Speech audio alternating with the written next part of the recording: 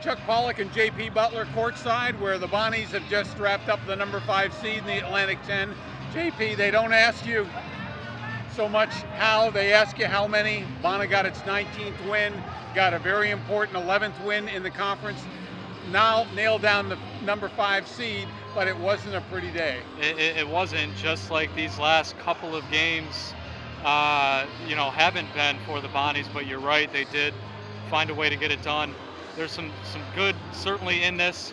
Um, as we said, they lock up the number five seed, so we know that they'll be playing on Thursday afternoon at 2:30 against the number 12 seed, which very well might be UMass again, right, right. depending on what happens tonight.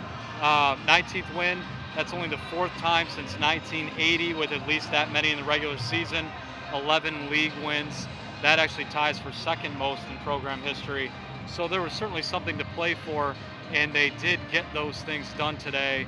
Uh, but uh, again, just really kind of another uninspiring effort. I mean, we we thought this had all the makings of maybe kind of a blowout, easy game to end right. on, and that right. certainly was not the case. It was a game where you look at the stats and you say, how do they win? The two guards who are normally giving you 40, it took a bunch of free throws because Matt Mobley and Jaylen Adams combined for only three field goals, but it was enough. David Andoh celebrating the uh, well, his senior day, he got the bucket that really put them ahead for good. But yep. it wasn't. Uh, it just wasn't a great performance. No, I mean, if uh, we talked about it, if, if you'd said before the game that uh, Adams and Mobley were going to combine for three field goals, they were going to shoot 30, whatever percent they did for the game, uh, sort of get uh, owned in the paint as much as they did, and still come out of here with a victory.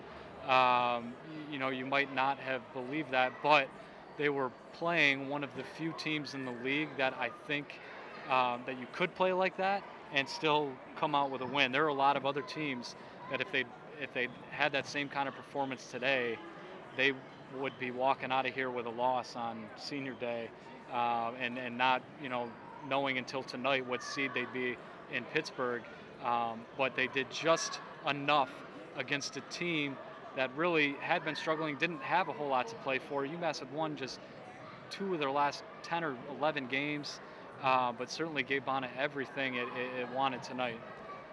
I'm thinking that, yeah, it'd have been nice to be number four and draw that double bye, but I, we've seen enough examples where a team that draws that bye comes in and comes in flat when it gets to finally play. In Bona's case, it's going to be playing a team against which it'll be favored.